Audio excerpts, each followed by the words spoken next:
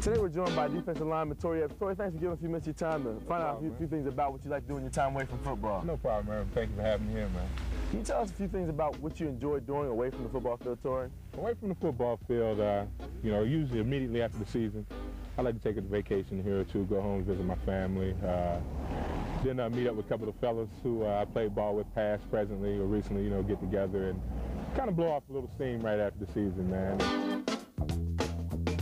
I understand that you've uh, you played football on a few different teams. Can you tell us the teams you played with and uh, your experiences with those teams? Coming out of college, I played for Atlanta, uh, Atlanta Falcons under Jerry Glanville, which was a unique experience to say the least. Jerry Glanville was a different type of fella. Uh, but one thing I can say, he made it fun.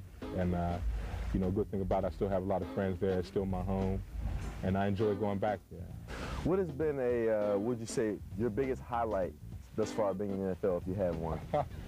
biggest highlight? Uh, that's a good one. I'd probably have to say uh, playing my first playoff game uh, was pretty big against the New Orleans Saints, as a matter of fact. Uh, that's probably one of the biggest games I've ever played in the league. I mean, I don't think I played in a game where there was more emotion, you know, from when you're in the playoffs and you're playing against your arch rival in their home stadium. Uh, that game was probably stands out right now. It's probably the most memorable game I've ever played in. I know when people ask me about New Orleans, one of the first things I tell them is, I love the food and I love the people.